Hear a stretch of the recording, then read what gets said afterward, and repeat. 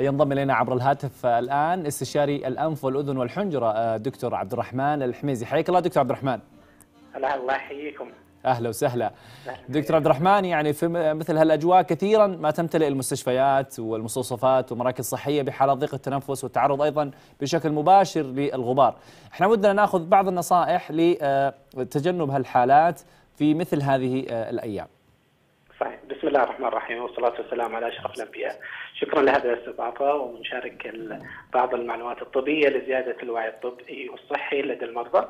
بالبداية كما ذكرت تكثر هذه الحالات في هذه الفترة والمنطقة عندنا أو المجتمع بشكل عام تكثر لديه أمراض الجيوب الأنفية إضافة إليها حساسية الصدر وحساسية الأنف.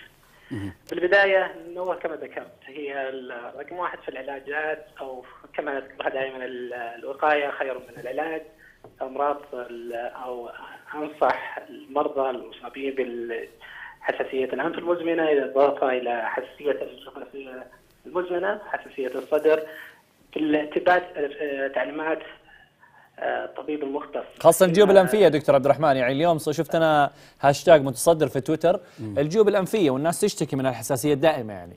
صحيح صحيح. كما ذكرت. بالبداية نقول الوقاية خير من العلاج. ونذكر جميع مرضانا مرضى الجيوب الأنفية بالوقاية. ما يثير لهم حساسية الأنف وحساسية الجيوب الأنفية أن يبتعدون عنها.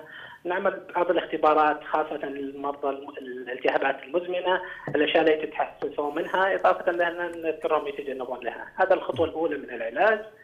ننصح دائما مرضانا في هذه الفترة آه الاستخدام الدائم والمنتظم للعلاجات. العلاجات الأنفية عبارة عن حبوبات حبوب الحساسية أو الأنتي هستامين بخاخات الأنف. إضافة للبخاخات الصدر الوقائية والتي تستخدم عند اللزوم أيضا. دكتور عبد الرحمن أجهزة تنقية الهواء الموجودة في بعض الأسواق وبعض المنازل الآن تستخدمها هل هي فعلا تأثيرها قوي في في قضية يعني تنقية الهواء داخل المنزل؟ صحيح كما ذكرت. إلى الآن لم تثبت أي دراسات لهذا الأمر بس لو ذكرنا الكثير من مرضانا تنقية الهواء خاصة في المناطق الجافة. مثل منطقة الرياض والمناطق البعيدة عن الرطوبة. الجفاف بحد ذاته يؤدي إلى المرضى أنهم يتأثرون أعراض كثيرة للجيوب الأنفية أيضا لحساسية الصدر. نعم. دكتور عبد الرحمن أخيرا هل هناك أمراض خطيرة ممكن تسببها موجات الغبار بين فترة وفترة ويعني ممكن آه تسبب فعلا أمراض مزمنة في المستقبل؟ صحيح صحيح صحيح.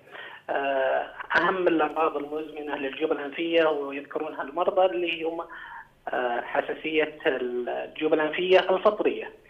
خاصه تغير هذه الأجواء يؤدي إلى إثارة هذه الأمراض المزمنه للجيوب الأنفية الفطرية وآثارها الجانبية على المدى القصير والطويل أيضا، إضافة لها نوبات الصدر الشديدة يعرض المرضى للدخول للتنويم إضافة لعلاجاتهم بشكل نعم. دائم. نعم الدكتور عبد الرحمن الحميزي استشاري الأنف والأذن والحنجرة كل الشكر لك وأيضا نتمنى السلامة والصحة لجميع مواطني هذا البلد الغالي.